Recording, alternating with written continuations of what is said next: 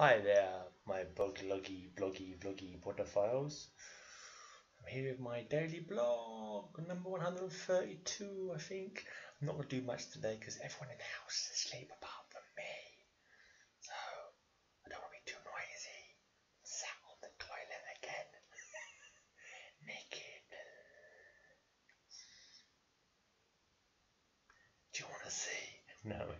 right, I'm just going to do um, random poem and I'm to do history on this day. That's what I'm to do. Going to go because I'm currently working on the uh, theme show for July on my heavy metal podcast, High Speed Hangover.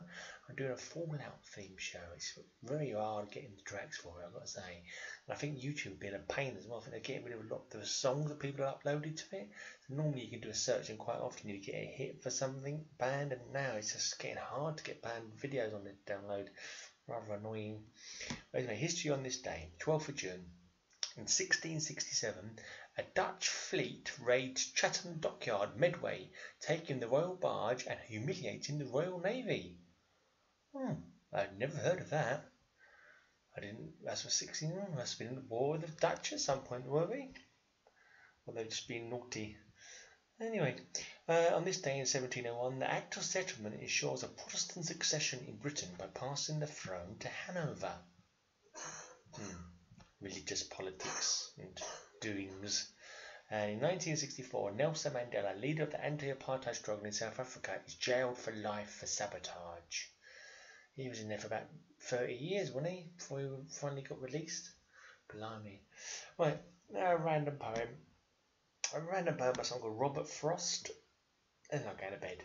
Well, I'm not going to bed. I'm going to go back to bed and do some more uh, research for my Fallout theme show. So this is a Robert Frost did from 1874 to 1963. It's called Mowing. There was never a sound beside the wood but one, and that was my long scythe whispering to the ground. What was it it whispered? I know not well myself. Perhaps it was something about the heat of the sun, something perhaps about the lack of sound and that was why it whispered and did not speak. It was no dream of the gift of idle hours, or easy gold at the hand of fay or elf.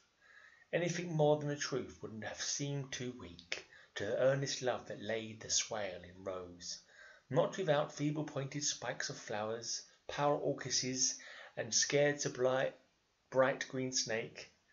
The fact is the sweetest dream that labour knows, my long scythe whispered and lay the hay to make cocked it up a little bit there. I'm always cocking it up. You know, I'm not perfect. I don't practice it.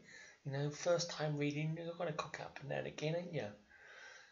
That's my excuse anyway. If you don't like it, go listen to another bearded twat sitting on the bog doing poetry. I mean, come on. What other blog can you find a naked bearded man sitting on the toilet in the dark reciting poems and telling you history on this day? Nowhere else. Nowhere else. And you'd know there's demand for this shit. I swore. Oh well. Anyway, I thought I wasn't recorded for a second then. Well, I was around there, I got to do it all again, have I? Yeah, I'm off. Bye.